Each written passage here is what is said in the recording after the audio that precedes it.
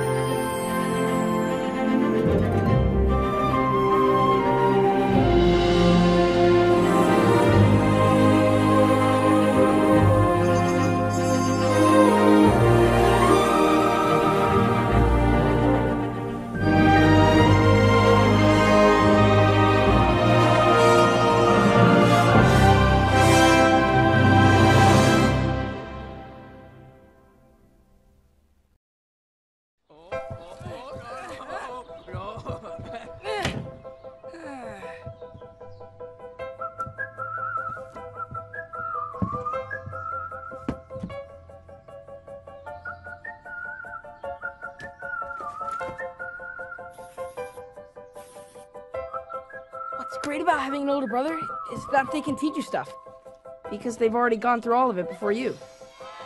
At least that's the way it's supposed to be, but